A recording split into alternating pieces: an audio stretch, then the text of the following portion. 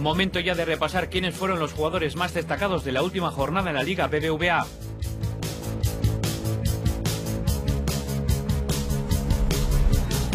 Vamos a ver ahí el duelo entre Rakitic y Alves. ¡Palo Alves! Diego Alves lo volvió a hacer, esta vez en el Pizjuán y esta vez ante Iván Rakitic.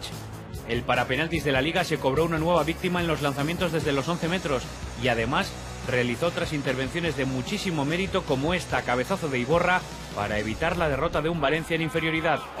Paradón de Alves.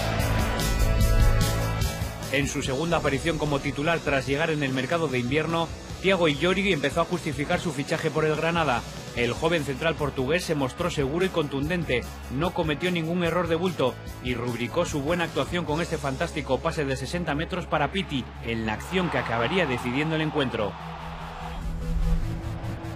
Pletórico en defensa y siempre peligroso en sus incorporaciones al ataque, Diego Godín fue el mejor de un Atlético que recuperó la senda victoriosa ante el Valladolid.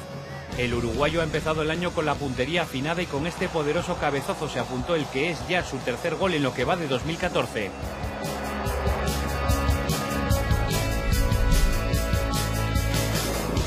Es uno de los artífices del buen rendimiento defensivo del Real Madrid en el último mes y medio de competición y en el Coliseum, Pepe volvió a completar una actuación sin fisuras. El 3 de los blancos se mostró rapidísimo en el corte como en esta carrera ante Colunga y también creó problemas en el área rival en las jugadas de estrategia.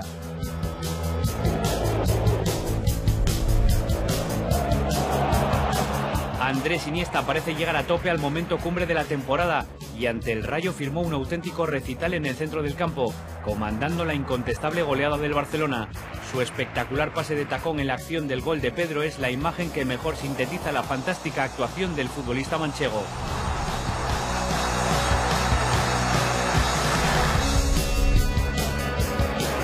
ensayada el tiro. Tan solo cinco minutos de juego necesitó Raúl García para resolver el duelo del Calderón, primero finalizando esta acción de estrategia y después asistiendo para el 2 a 0 de Diego Costa. El centrocampista navarro ya suma ocho goles en el campeonato y fue pieza clave para que el Atlético sumase un triunfo balsámico.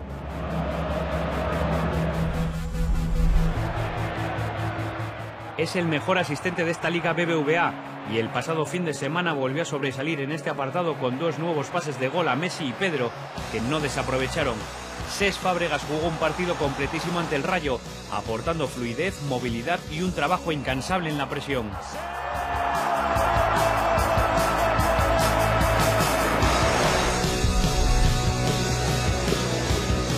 Cada vez más asentado en la sala de máquinas junto a Modric y Xavi Alonso, Ángel Di María brilló en el cómodo triunfo del Real Madrid en Getafe. El argentino corrió, peleó y nutrió a sus compañeros, como ocurrió en la asistencia del 0-2 para Benzema, dejando su impronta en casi todas las acciones de peligro para los blancos.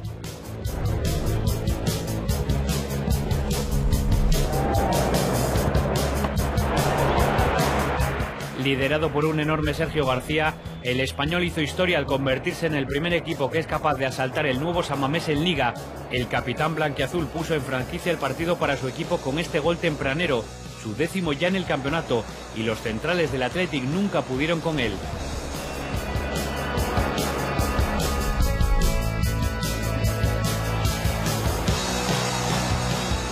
Otro de los delanteros más en forma del campeonato es un David Barral que volvió a ser decisivo para el Levante. Pletórico de confianza, el delantero andaluz aportó su habitual brega, lo intentó todo y acabó marcando el único gol del partido ante la Almería con esta fantástica volea. Centra Nabil.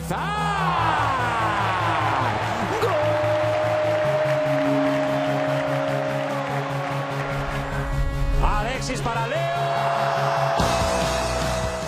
Y cerrando nuestro once de esta jornada encontramos a un Leo Messi que volvió a poner patas arriba al Camp Nou. El argentino marcó dos goles, el primero de bellísima factura, dio una asistencia a Alexis, mandó un balón al palo y fue un constante dolor de muelas para una defensa del Rayo que se vio siempre superada por la magia del argentino.